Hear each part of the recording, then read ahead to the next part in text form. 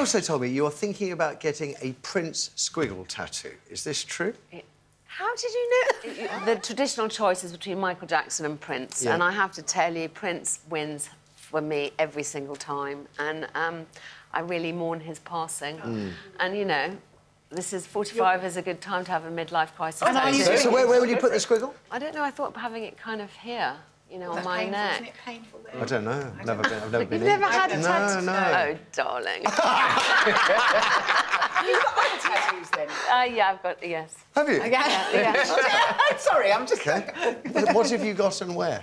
Um, I've I've I've got a, uh tattoo on my hip. You've suddenly become more bashful. really sweet. No, no, but it's just I did it kind of completely illegally when I was 16, and mm. I often look at it and I think, oh, would I really have chosen that? Now I'm embarrassed because of what the- it is. It's a, it's a butterfly. Oh. At least it's not a dolphin. I love dolphins. They're like my soulmate. right.